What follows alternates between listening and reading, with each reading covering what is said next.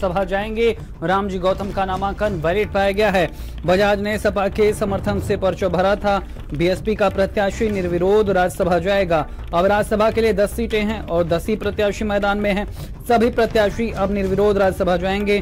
प्रस्तावक का नाम गलत था, इसलिए पर्चा प्रकाश बजाज का खारिज हुआ। तो बड़ी खबर आपको बता रहे हैं, प्रकाश बजाज का। नामांकन खारिज हो गया है। प्रस्तावक का नाम गलत था, इसलिए उनका पर्चा खारिज कर दिया गया है। अब राज्यसभा के रण में 10 प्रत्याशी हैं और 10 ही यहाँ पर सीटें हैं। तो ऐसे में बसपा प्रत्याशी का निर्विरोध राज्यसभा जाना लगभग तय है। राज्यसभा चुनाव से जुड़ी एक और बड़ी खबर आपको बता रहे हैं। प्रकाश बजाज कल हाईकोर्ट में अपील करेंगे। प्रकाश बजाज का पर्चा खारिज किया गया है। प्रस्तावक का नाम गलत होने से पर्चा खारिज किया गया है। प्रकाश बजाज ने निर्दलीय नामांकन किया था। सपा के समर्थन से नामांकन किया था। रिटर्निंग ऑफिसर के फैसले के खिलाफ अपील करेंगे।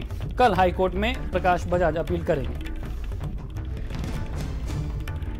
और इसी खबर पर ज़्यादा जानकारी के साथ संवाददाता सीमा हमारे साथ जुड़ गए हैं। जिस तरह से प्रस्तावक का नाम गलत होने के बाद प्रकाश बजाज का नामांकन खारिज किया गया है, मामले में एक और टिस्ट ज़रूर आया, लेकिन अब हाईकोर्ट की राह भी है। जी, बिल्कुल। जिस तरह से आज पूरा सुबह से घटनाक्रम चला और उसमें निर्दलीय प्रत्याशी प्रकाश बजाज का पर्चा खारिज हुआ और बसपा प्रत्याशी रामजी गौतम का पर्चा वैध पाया गया। तो ज़ाहिर सी बात है कि जो प्रकाश बजाज हैं, वो इस बात को पहले से कहते आ रहे हैं क्योंकि ये उनका मानना है और उनका आरोप है कि भारतीय जनता पार्टी के इशारे पर कहीं ना कहीं उनके साथ जो है वो इस तरह का भेदभाव किया गया है। उनका पर्चा जो है वो खारिज किया गया है।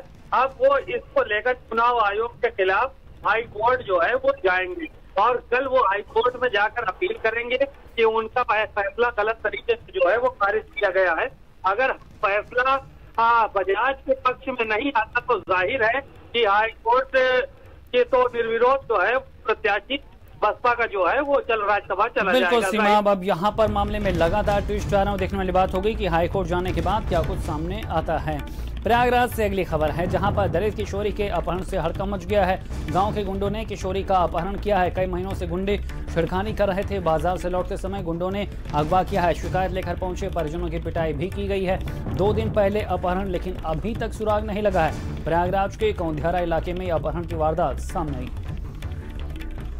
तो प्रयागराज से हम आपको ये बड़ी खबर बता रहे हैं जहाँ पर किस तरह से ये बड़ी वारदात सामने आई है। दो दिन पहले अपहरण हुआ है अभी तक कोई सुराग नहीं लग सका। कल आई कि हम जब हमारी लड़की सात बजे भगाई है फ़ोन करके तो गए तक चुनने प्रधान है लल्लू उनकर खुशू बेटवा ठेवका का उनके चुनने बेटवा के ये सब मिल के हम कहा हम कहाँ ब्लाउज फाटना हमारे बेटवा के मारे।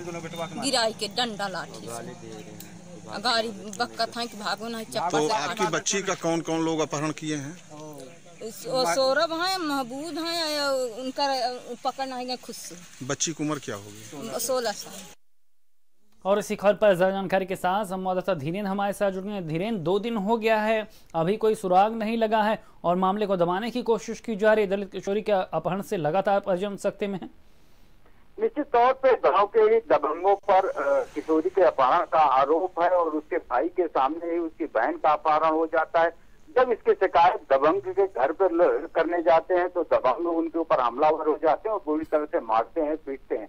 हालाँकि जब पूरे मामले में पुलिस से शिकायत की गई है तो पुलिस ने मामला दर्ज तो कर लिया है, लेकिन दो दिन बीत गए हैं, अभी तक किशोरी का कोई पता नहीं लग पाया है, न ही अपहरणकर्ता पुलिस की पकड़ में तो पुलिस कार्यशैली पर भी सवाल निशान लग रहा है कि एक तरफ़ जहाँ शक्ति मिशन के लिए तमाम प्रयास किए जा रहे हैं, वहीं पर महिलाओं जिस तरीके से सरे राह, इस तरह से अपहरण की वारदात हो रही है तो पुलिस की जो कार्यशैली है, वो भी सवालों के घेरे में है जी।